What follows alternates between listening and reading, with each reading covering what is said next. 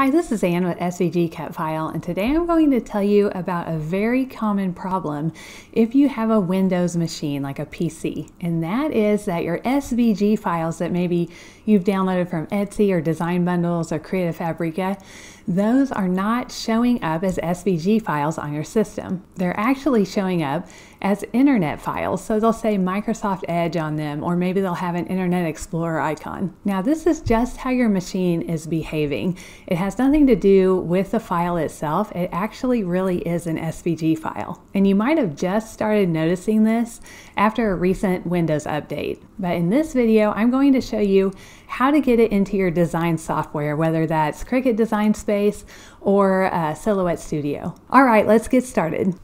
Okay, so here's an example of what I'm talking about. Um, these are all actual SVG files, but they show this little Internet Explorer icon. Um, and I think sometimes we don't see the .svg at the end here. And I think sometimes even this information that shows it's an SVG document, this is missing. Now, when I double click this, here's what happens. It opens as an Internet Explorer file. And obviously we can't use it like that. So I'm just going to go ahead and get out of that. Now I'm going to show you how to solve this problem for Cricut Design Space. So I'm going to open Cricut Design Space and then I'm going to choose New. Then I'll choose Upload right over here. I'm going to choose Upload Image and then Browse. And now I'm in that same folder and as you can see, it still looks like an internet file. This might be like a Google Chrome icon. It could be a Microsoft Edge. Whatever your normal internet program that you use is, is probably going to be what that icon looks like.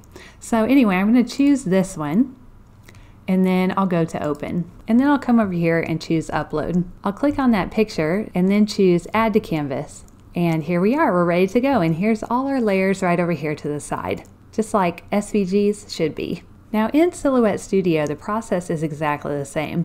We'll go ahead and open Silhouette Studio.